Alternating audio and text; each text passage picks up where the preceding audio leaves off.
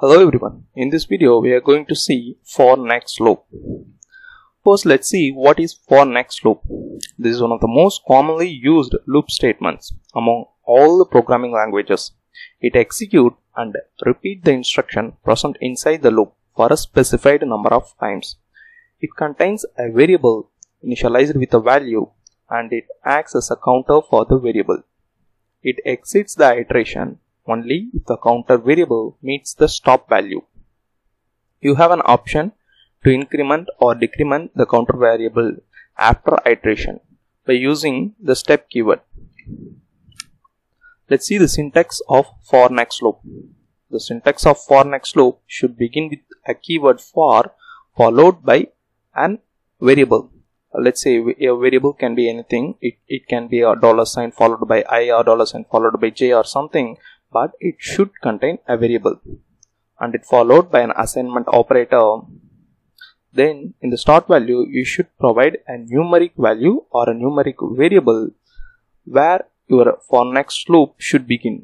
Let's say if you want the for next loop to begin with a start value 2 then you should provide 2 here followed by a keyword To then in the stop value you have to provide a stop value stop value is again a numeric value and it decide when your for loop should stop. But the stop value should be always greater than the start value when you are not using the decrement operator. And it should followed by a step keyword. If you want to increment or decrement by a value greater than 1 then you should provide the value in the step value followed by the step keyword.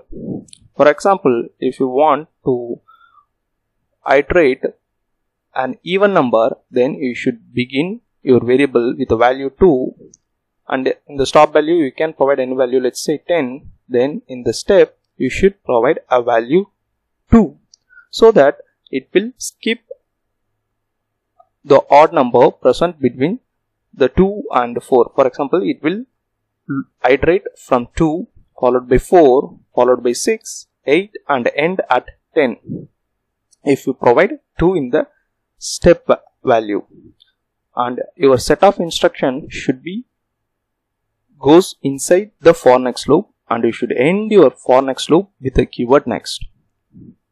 Let's see an example here. You are almost familiar with SciTE editor, so I don't use SciTE editor to demonstrate this example. You can copy this example and paste it in the SciTE editor and you can get hands-on on it.